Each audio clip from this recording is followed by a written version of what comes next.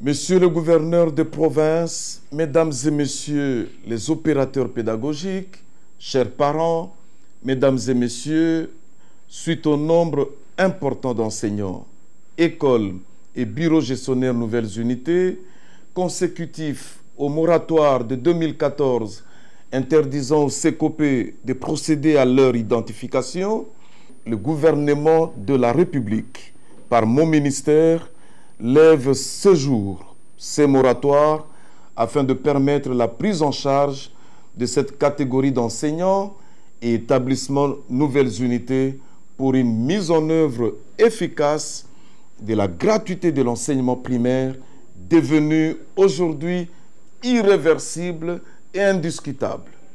Ainsi donc, à dater de ce lundi 10 février 2020, des équipes de superviseurs nationaux seront déployées dans toutes les provinces en vue de procéder avec les responsables locaux à l'identification des enseignants, écoles et bureaux gestionnaires nouvelles unités.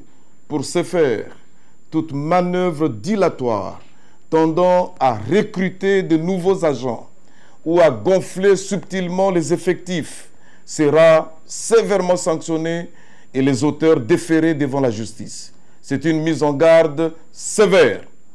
Je demande donc aux autorités provinciales ainsi qu'à toute la communauté d'apporter leur soutien à cette opération pour matérialiser l'engagement du gouvernement de la République.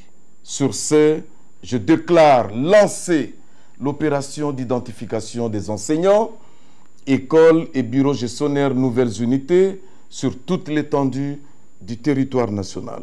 Mesdames et messieurs, je vous remercie.